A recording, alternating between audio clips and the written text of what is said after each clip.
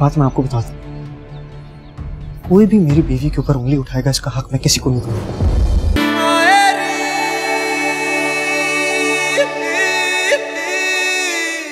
मुँह बंद करके खड़ी मत हो मैं कह रहा हूँ तुमसे बोलो। क्या कर रहे हैं आप? छोड़े इसको दूर रहे। वो क्या गया यार आप लोगों को?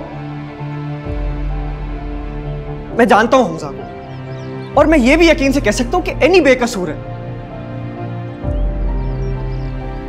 आज जानते हैं आप लोग हमारे माहौल के बारे में। हाँ मैंने इस बात पे पर्दा इसलिए डाला क्योंकि ये बात मेरे लिए अहमियत नहीं रखती है। हर लड़की से सब सुकून से तमीज से बात करते हैं। हैनी और हमजा भी उसी स्कूल में पढ़ते हैं। अगर दोनों एक दूसरे से मुस्कुरा के बात करें, इसका मतलब ये नहीं कि आप उनकी इज़्ज़त की धज्जियाँ उड़ा दें।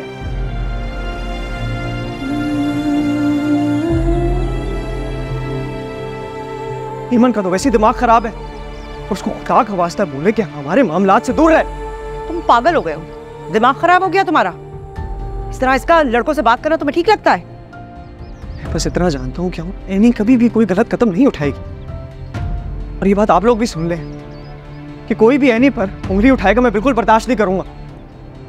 बड़ा शौक था ना आप लोगों को कि शादी कर लो बड़े हो जाओ ज़िम्मेदारी उठा लो। तो कर ली शादी। हो गए बड़े उठा ली ज़िम्मेदारी। खुदा का वास्ते हमें अकेला छोड़ते हैं और दूर हो जाए हमसे। एक बात मैं आपको बता दू। कोई भी मेरी बीवी के ऊपर उंगली उठाएगा, इसका हक मैं किसी को नहीं दूँगा।